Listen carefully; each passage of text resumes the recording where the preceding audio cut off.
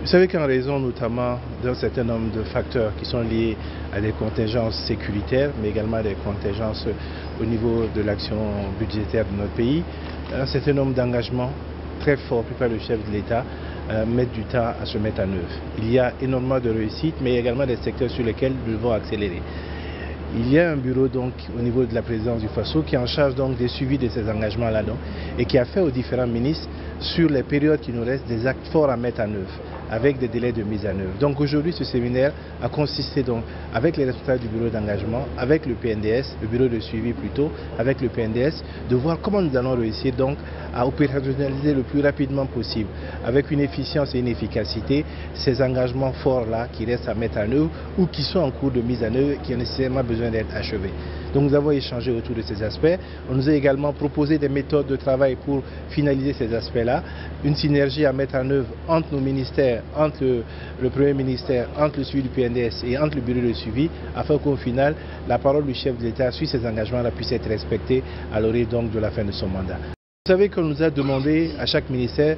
de sortir des actions concrètes et précises qui peuvent être mises en œuvre immédiatement ou qui sont en cours de mise en œuvre pour que nous puissions les finaliser. Donc il y a cette revue-là qui va être affinée. Il y a également la mise à disposition d'outils techniques d'outils également modernes numériques pour que nous puissions nous-mêmes faire le monitoring pour pouvoir donc alimenter les banques de données pour que les, tous les acteurs, quel que soit le CEU où ils se trouvent, soient informés de des réalisations qui sont en cours. Donc je pense qu'il euh, y a donc cette décision qui a été prise, il y a des délais précis qui sont donnés euh, sur le, le, déploiement de cette euh, activité de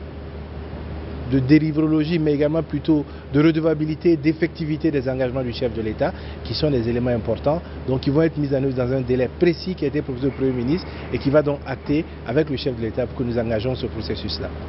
C'est justement l'un des aspects forts, c'est que pour la première fois, tous les acteurs se sont assis autour de la table, que ce soit les ministères, que ce soit le Premier ministère, que ce soit le PNDS, que ce soit le bureau de suivi, pour tomber d'accord sur le fait que nous devons aller dans la même direction et faciliter le travail de nos DGS, faciliter également la mise en œuvre. Euh, ça allait dans des points beaucoup plus précis, même sur la question de mobilisation des ressources, sur lequel je ne vais pas revenir, mais tout un certain nombre de propositions ont été faites qui vont être mises en œuvre dans le cadre de cette action-là. Ce qui est important, c'est que les acteurs sont tombés d'accord sur comment nous allons procéder. Et les outils proposés par le, bureau de suivi de la mise en œuvre donc, des engagements du chef de l'État sont des outils qui ont été acceptés par les acteurs afin de faciliter cette coordination du travail et cette, ce résultat plus évident et plus probant dans les mois qui viennent.